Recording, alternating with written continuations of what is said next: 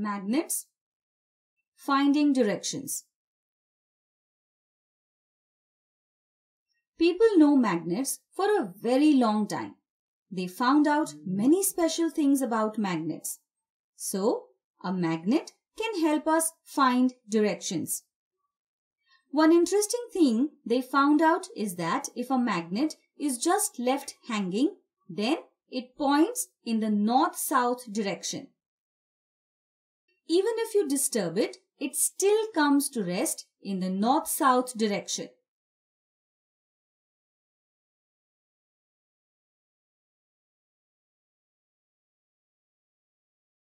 Once you know north, you can find all other directions easily.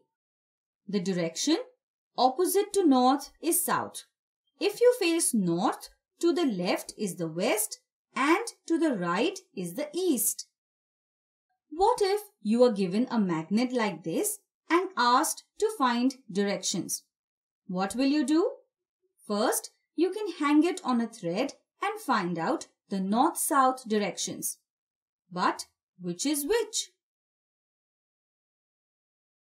For that, you may have to look out the window and find the sun. If it's daytime, from the position of the sun, you will know where the east is. If you locate the east, you know how to mark the other directions. Opposite to east is the west. If you locate the east, you know how to mark the other directions.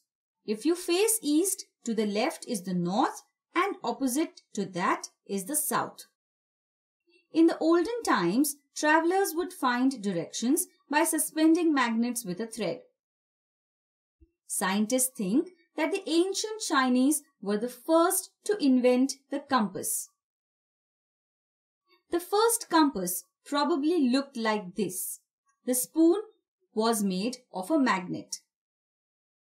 They also had floating compasses which helped them float the magnetic needle in oil or water. The idea of the compass spread all over the world and got better over the years. All travelers need to know directions and the compass still helps to find them. You need a compass in an aircraft. You need a compass in a ship Soldiers need to know directions too. What did we just learn? When a magnet is freely suspended, it comes to rest in the north-south direction. A magnetic needle is used in a compass to find directions.